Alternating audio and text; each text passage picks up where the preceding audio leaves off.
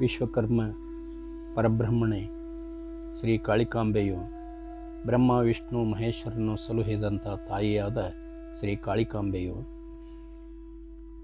ಶಿರಸಂಗಿಯಲ್ಲಿ ಋಷ್ಯಶೃಂಗ ಮಹಾಮುನಿಯ ತಪಸ್ಸಿಗೆ ಒಲಿದು ಅಲ್ಲಿ ಋಷ್ಯಶೃಂಗ ಮುನಿಗಳಿಗೆ ತಪಸ್ಸಿಗೆ ಭಂಗ ತರುವಂಥ ರಾಕ್ಷಸರನ್ನು ಕೊಲ್ಲಲು ಶ್ರೀ ಕಾಳಿಕಾಂಬೆಯು ಮತ್ತೆ ಸರ್ಸಂಗಿಯ ನಾಡಿಗೆ ಬರ್ತಾಳೆ.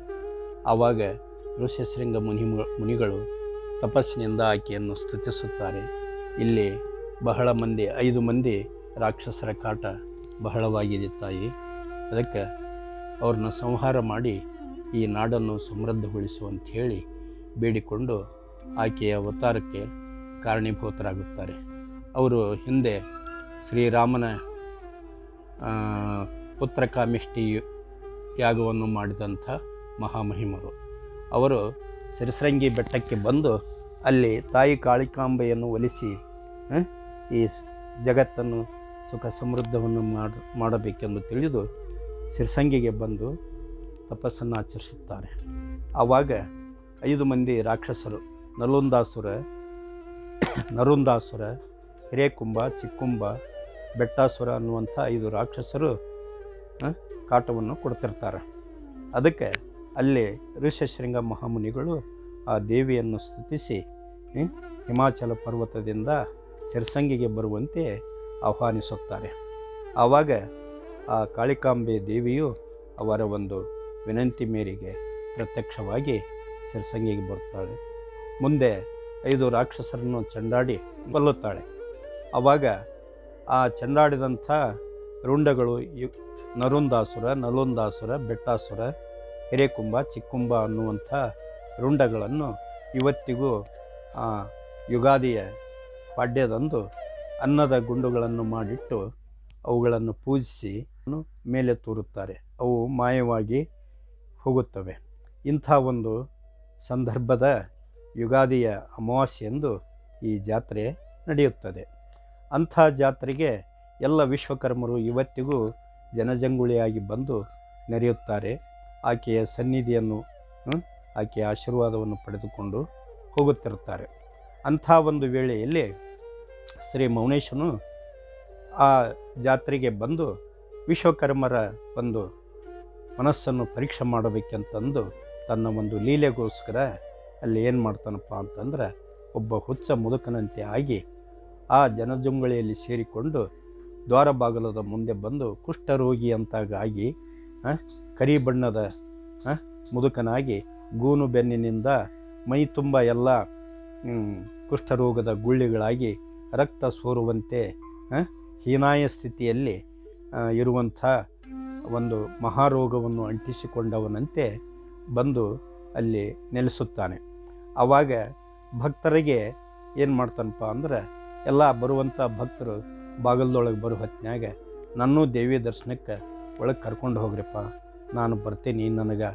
ಎದ್ದು ಅಡ್ಡಾಡ್ಲಿಕ್ಕೆ ಆಗೋದಲ್ಲ, ಒಂದು ಸ್ವಲ್ಪ ಕೈ ಹಿಡಿದು ನನ್ನ ಕರ್ಕೊಂಡು ಹೋಗ್ರಿ ಅಂತ ಹೇಳಿ ಪರಿಪರಿಯಿಂದ ಬೇಡಿಕೊಳ್ತಾ ಇರ್ತಾನೆ. ಅವಾಗ ಎಲ್ಲರೂ ಇಂಥ ಒಂದು ಮಹಾ ಕುಷ್ಠರೋಗಿಯನ್ನು ಮುಟ್ಟಿದರೆ ನಾವು ಮೈಲಿಗೆ ಆಗ್ತೀವಿ, ನಾವು ದೇವಿ ದರ್ಶನಕ್ಕೆ ಹೊಂಟೀವಿ ಅಂದು ತಮ್ಮ ಒಂದು ಮಡಿ ಮೈಲಿಗೆ ಅನ್ನುವಂಥ ಒಂದು ಸಂಪ್ರದಾಯದಲ್ಲಿ ಆತನನ್ನು ಯಾರೂ ಮುಟ್ಟುವುದಲ್ಲ. ಧಿಕ್ಕರಿಸಿ ಧಿಕ್ಕರಿಸಿ ಥೂ ಛೀ ಅಂದು ಅಸಹ್ಯ ಪಟ್ಟುಕೊಂಡು ಒಳಗೆ ದ್ವಾರಬಾಕಲ್ದ ಒಳಗೆ ಹೋಗಿ ದೇವರ ದರ್ಶನಕ್ಕೆ ನಿಲ್ಲುತ್ತಾರೆ. ಆವಾಗ ಮತ್ತೆ ಒಬ್ಬ ಕೆಲ ಭಕ್ತರು ಗುಂಪು ಗುಂಪಾಗಿ ಒಳ್ಳೆ ವೈಭವದಿಂದ ಬರ್ತಾ ಇರ್ತಾರೆ. ಆವಾಗ ಅವ್ರನ್ನರ ತಡಿವಿ ಇವ್ರ ನನ್ನ ಕರ್ಕೊಂಡು ಹೋಗ್ತಾರ ನೋಡೋನ್ ತಡಿ ಅಂಥೇಳಿ ಆ ಮೌನೇಶ ಮತ್ತು ಅವರಲ್ಲಿ ಅಂಗಲಾಚಿ ಬಿಡ್ತಾನೆ. ಅವಾಗ ಅವರೂ ಸಹಿತ ಈತ ನಮ್ಮನ್ನು ಮುಟ್ಟಿಗಿಟ್ಟಿದ್ರೆ ನಾವು ಮೈಲಿಗೆ ಹೇಳಿ ಸೀತು ಅಂದು ಆತಗೆ ಬೈಯೋದು ಮಾಡೋದು ಹಾಂ ಮಾಡ್ತಾರೆ. ಆದರೂ ಈತ ಅವ್ರನ್ನ ಮುಟ್ಟಿದಂಗೆ ಮಾಡಿ ನಾನು ಕರ್ಕೊಂಡು ಹೋಗ್ರಿಪ್ಪ ಒಳಗೆ ಅಂಥೇಳಿ ನಾಟಕ ಮಾಡ್ತಾನೆ. ಆದರೂ ಅವ್ರು ಮತ್ತಷ್ಟು ಸಿಟ್ಟು ಎದ್ದು ಈತನ್ನು ದೂಡಿ ಹೋಗ್ತಾರೆ. ಆವಾಗ ತಾನೇ ಕುಂಟುತ್ತಾ ಎಡವುತ್ತಾ ಬಿದ್ದುಕೊಂತನ ಆ, ತಾಯಿಯ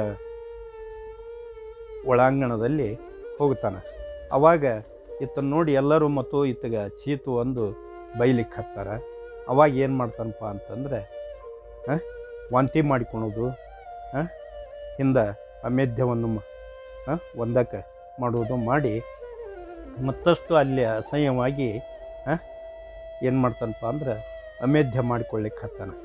ಹಾಂ, ಅವಾಗ ಅದು ಅಮೇಧ್ಯ ಅಲ್ಲಿಟ್ಟು ಇಲ್ಲಿಟ್ಟು ಎಲ್ಲ ಅಂಗಳದಾಗ ಚೆಲ್ಲಾಡಿ ಬಿಡುತ್ತೆ. ಮತ್ತು ವಾಂತಿ ಮಾಡ್ಕೊತಾನ ಮುತ್ತು ರತ್ನ ಹಾಕವು. ಇದನ್ನೆಲ್ಲ ನೋಡುವಂಥ ನೋಡ್ಕೊತ ನಿಂತಂಥ ನಮ್ಮ ವಿಶ್ವಕರ್ಮರು ಏನು ಮಾಡ್ತಾರಪ್ಪ ಅಂದ್ರೆ ಅವಾಗ ಬಂಗಾರದ ಆಸೆ ಮುತ್ತು ರತ್ನದ ಆಸೆಕ್ಕೆ ಬಿದ್ದು ಅವನ್ನ ತಗೊಳಕ್ಕೆ ಓಡಾಡ್ತಾರೆ. ಒಬ್ರಿಗೊಬ್ರು ಒಬ್ರಿಗೊಬ್ರು ಮೇಲ್ ಮೇಲೆ ಬಿದ್ದು. ಅವಾಗ ಏನು ಹೇಳ್ತಾನಪ್ಪ ಅಂದ್ರೆ ನೀವು ಮಡಿ ಮೈಲಿಗೆಯಿಂದ ದೇವಿಗೆ ದರ್ಶನಕ್ಕೆ ಬಂದಿರಿ, ಬಂಗಾರ ಮುತ್ತು ರತ್ನ ಕಂಡು ವ್ಯಾಮೋಹ ಪಟ್ಕೊಂಡು ಬಂಗಾರದ ಕಡೆ ಆಸೆ ಪಟ್ರಿ. ಆದರೆ ನನ್ನನ್ನು ಸಹಿತ ಒಂದು ಸ್ವಲ್ಪ ದರ್ಶನಕ್ಕೆ ಕರ್ಕೊಂಡು ಹೋಗ್ರಿಪ್ಪ ಅಂತಂದ್ರೆ ಕರ್ಕೊಂಡು ಹೋಗಲಿಲ್ಲ ಅಂಥೇಳಿ ಇಂಥ ನಿಮ್ಮ ನೀಚ ಬುದ್ಧಿ ಐತಿ, ಹೀನ ಬುದ್ಧಿ ಐತಿ ನಿಮ್ಮ ಹತ್ರ, ಬಂಗಾರದ ಆಸೆಕ್ಕೆ ಬಂದ್ರಿ ಅಂತ ತಿಳ್ಕೊಂಡು ಅಲ್ಲೇ ಅಂತಾನ. ಅವಾಗ ಅಷ್ಟು ಅನ್ನತ್ಲೇನ ತೊಗೊಂಡಾರು ತೊಗೊಂಡು ಹೋದರು, ಪುಣ್ಯ ಇದ್ದರು ತೊಗೊಂಡು ತೊಗೊಂಡು ಹೋದ್ರೆ ಅದನ್ನು. ಅದು ಇಲ್ಲದ್ದಂದ್ರೆ ಅವು ಅಷ್ಟು ಅಲ್ಲೇ ಮಾಯ ಆಗಿಬಿಡುತ್ತೆ. ಅವಾಗ ಎಲ್ಲರೂ ಕಚ್ಚ ಮೋರಿ ಹಾಕ್ಕೊಂಡು ನಿಂದಿರ್ತಾರೆ. ಅವಾಗ ಮುಂದ್ಕತ ಹೋಗಿ ದೇವಿಗೆ ಬೇಡಿಕೊಂತಾನೆ. ಅವಾಗ ದೇವಿ ಈ ಎಲ್ಲ ದೃಶ್ಯವನ್ನು ನೋಡಿ ತಾನೇ ಭದ್ರಪೀಠದಿಂದ ಎದ್ದು ಬರ್ತಾಳೆ. ಎದ್ದು ಬಂದು ಮೌನೇಶನ ಹತ್ರ ಬಂದು ಇವರು ಎಲ್ಲ ಮಾಡಿದ್ದನ್ನು ಕಣ್ಣಿಲೆ ನೋಡ್ತಾಳೆ. ಅವಾಗ ಅಲ್ಲಿ ಏನು ಹೇಳ್ತಾನಪ್ಪ? ದೇವಿ, ನೋಡುವ ಭಕ್ತರು ಹಿಂಗೆ ಮಾಡಿ ನನಗೆ ಇದನ್ನು ಮಾಡಿದರು ಅನ್ನುವಂಥದ್ದು ಎಲ್ಲ ಹೇಳ್ತಾನೆ. ಅವಾಗ ನಿನ್ನ ಮೂಲದ ಅರ್ಥ ಅವ್ರಿಗೇನು ತಿಳಿಬೇಕು ಆ? ಭಕ್ತರಿಗೆ ಏನು ತಿಳಿಬೇಕಪ್ಪ ನಿನ್ನ ಅವತಾರ ನೀನು ಸಾಕ್ಷಾತ್ ವಿಶ್ವಕರ್ಮನಿದಿ ಆ? ನೀನು ಹರಿಹರ ಬ್ರಹ್ಮಾದಿಗಳಿಗೂ ಮಿಗಿಲಾದಂಥ ನೀ ಪರಮಾತ್ಮನಿರುವೆ? ಇಂಥ ಮೂಢ ಜನಕ್ಕೆ ನಿನ್ನ ಮಹಿಮೆ ಏನು ಗೊತ್ತಾಗುತ್ತೆ ಅಂತ ತಿಳ್ಕೊಂಡು ಅಲ್ಲಿ ತಾಯಿ ಸಹಿತ ಇವರಿಗೆಲ್ಲ ಹೇಳಿ, ಮತ್ತು ಮೌನೇಶ ಏನು ಮಾಡ್ತಾನಪ್ಪ ಅಂತಂದ್ರೆ ಇಬ್ಬರು ತಾಯಿ ಮತ್ತು ಇಬ್ಬರು ಕೂಡಿ ಕೈ ಎತ್ತಿ ಆಶೀರ್ವಾದ ಮಾಡಿ ಇವರಿಗೆ ವಿಶ್ವಕರ್ಮರಿಗೆ ಹರಿಸಿ ಅಲ್ಲಿಂದ ಒಳಗೆ ಗರ್ಭಗುಡಿಯಾಗ ಹೋಗಿ ಮಾಯ ಆಗಿಬಿಡ್ತಾನೆ ಇಬ್ಬರು ಯಾರು? ಕಾಳಮ್ಮ ಮತ್ತು ಮೌನೇಶ, ತಾಯಿ ಮಗನು ಕೂಡಿ ಒಳಗೆ ಮಾಯ ಆಗಿಬಿಡ್ತಾನೆ